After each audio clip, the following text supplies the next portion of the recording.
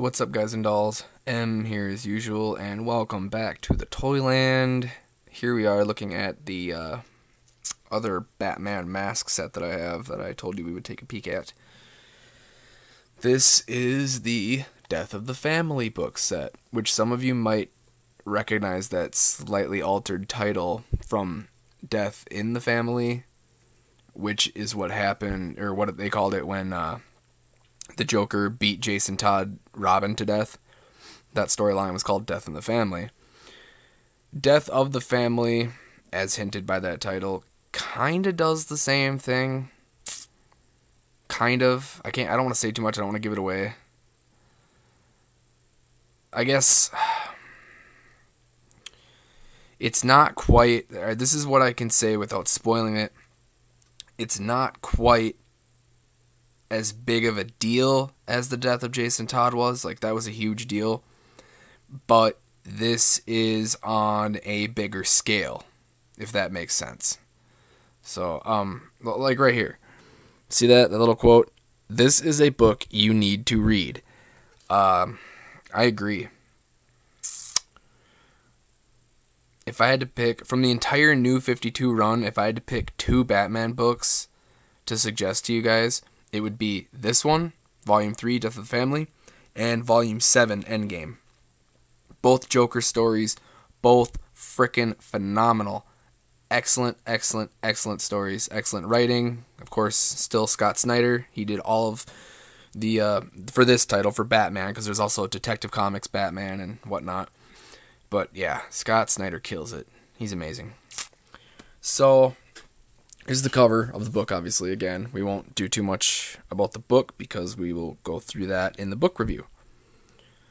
But sweet, I love this cover art. Pretty simple, but very, very cool.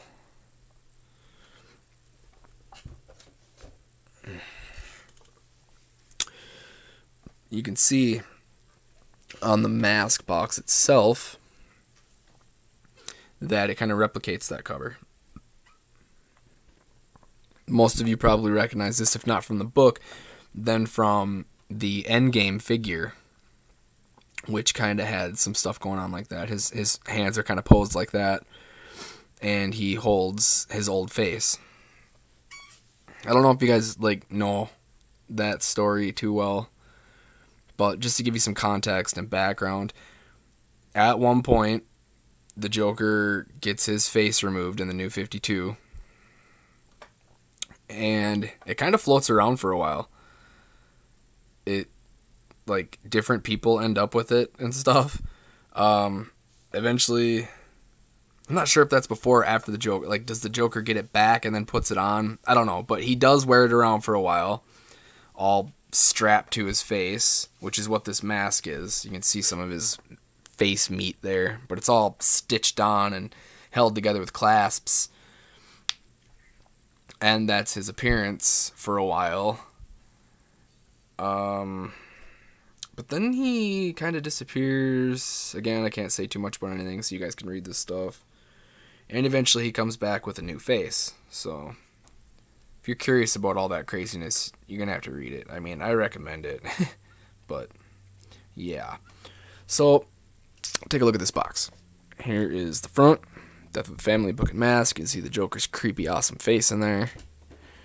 Batman at the top. There's the side.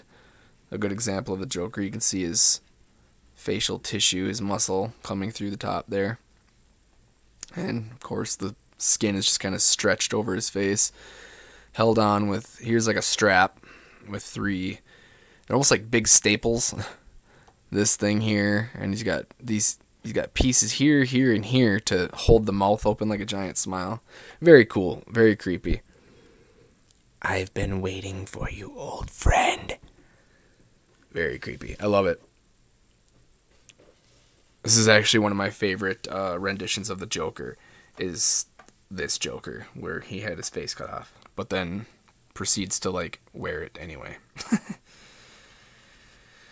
Um, this is a book you need to read. We've seen that Snyder might be the defining writer. We've seen that on the last one. Have to agree with both of those. Here you can uh, pause and read that if you would like. gives you a little insight, and this side is the same thing. Oh, if you look real close, it's got all these little faint ha ha ha's in the background. Pretty cool. Cool boxes for these things. So, yeah, let's pop this guy open. Take a look. Dusty on top.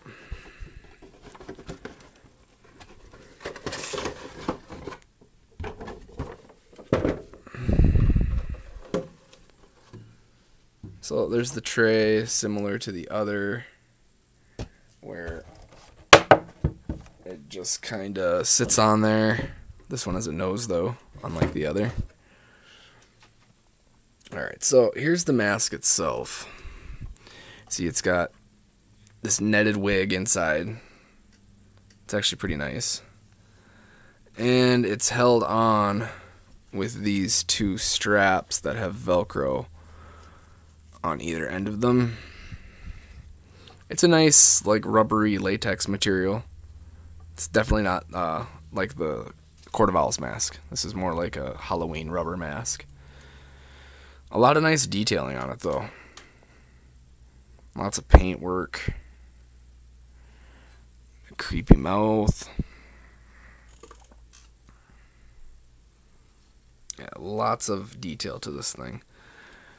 The straps for holding it on aren't the greatest especially because they're higher up on the head. They they come off these straps here like they're supposed to be those. But uh, they're so high up it doesn't do much for the face. Um, i've actually considered customizing this thing and doing something similar to what he actually does like actually putting some kind of well, maybe not even a real metal hook here, but attaching something at the end of it that can go around the back of my head to better secure this thing, because otherwise this doesn't sit flush against your face. I've also considered cutting the mouth out, because then it would be more like his actual skin face, because obviously his teeth are not attached to his skin. So if you cut this out and then did some makeup work on your own mouth and lips, you could actually probably create a pretty kick ass uh, Joker custom featuring this version.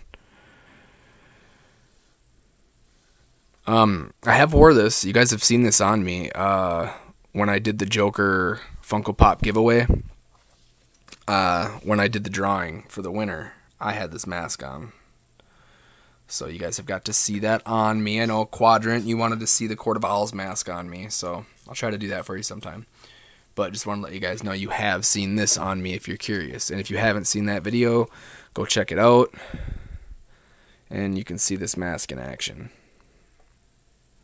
Yeah, very cool. Uh, it's, I think it's definitely a higher quality than the uh, the Court of Owls mask, just because it's like it's real rubber. It's got a wig attached with a nice net.